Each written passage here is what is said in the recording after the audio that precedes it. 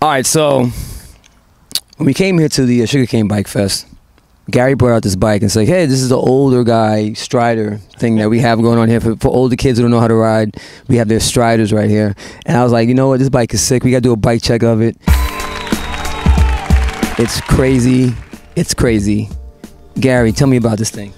It's uh, it's black on black on black. That's right. No cranks, no brakes. It's meant, uh, this is the Fred Flintstone of BMX bikes. It's all foot power. We have a luscious banana seat. That banana seat is pretty popular. And it's not, it's it's brand new. It's the it's the it's the nicest part of the bike actually. Uh, and uh, that makes it possible for us old guys to go through the rhythm section on the seat without like breaking stuff. bike parts and otherwise. Uh, other than that, it is. We were trying to figure out what it is. Uh, Al thought maybe uh, uh, Schwinn. It's possible. Um, it's some sort of, of actual race bike. The geometry is right for a race bike. Had uh, you know proper brakes on it, but um, it came to us as a donation. It was all painted black like this. It's got a Tioga tire on front. That's like a Comp X, I think. I think that's what those were, and a Maxxis on the back.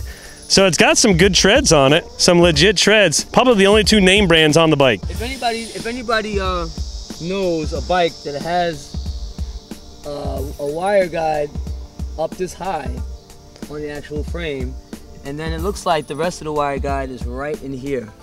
Yeah, That's very on the to this bike, and maybe you guys might know what that is. Actually, this might not be a legit bike with this thing right here. That is, I don't think. You think that looks pretty janky? Had like I'm not sure. But if anybody sees this and looks online and recognizes this bike, let us know what it is. Yeah, but we have fun with it. We do. Uh, we have two of them, and we do uh, head-to-head contests, and uh, we do a bracket style elimination. We do it three, four times a year. Nice. Uh, open up to all ages. If you can fit on it, you can run it, and we get eight-year-olds, and uh, the first champion was Art Luck, 67 years old. He was the first uh, adult strider champion here at Richmond BMX. We'll uh, we'll run another one at our Luck Cup, November 6th. Double point race, season finale, Luck Cup, and uh, we'll have our famed adult strider contest uh, on uh, Sunday, November 6th. And maybe at next year's uh, Sugarcayne Bike Fest, we gotta try and incorporate this some kind of way. Oh, no doubt. Maybe for a tiebreak or something. Oh yeah. Yeah. Oh, it's got to happen. Definitely. It's definitely got to happen. I'll get three of them by then. nice, nice. Gary Craig at Richmond BMX. This is my black on black on black adult strider bike check on sugarcayne.com. Say back to you, Billy. Back to you, Billy. One.